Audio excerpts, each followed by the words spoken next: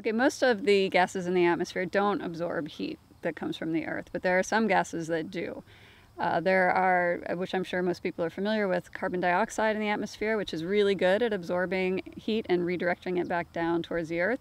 But there are some other ones as well that people may not have heard of, nitrous oxide being one, and methane being another really important one. When nitrous oxide is produced, it traps more heat. So we're enhancing the greenhouse effect, making it warmer.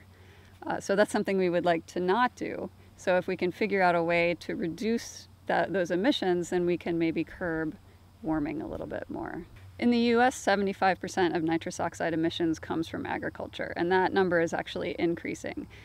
And where it comes from is all of the nitrogen fertilizer that we end up putting on, on fields. Some of it ends up going up into the atmosphere as nitrous oxide.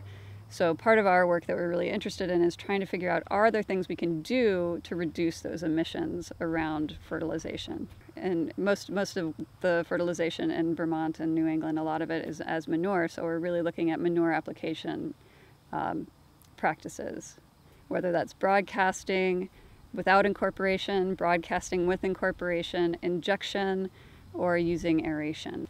Nitrous oxide emissions are greatest when it's really wet out. So if you have really wet, waterlogged soils with not a lot of oxygen, that's when you're going to be producing nitrous oxide. So if a farmer can go out and inject manure when it's pretty dry out, there won't be nearly as, as much in the way of emissions. Even though agriculture is responsible for, a for this large percentage of nitrous oxide emissions, there's a really big impact of management.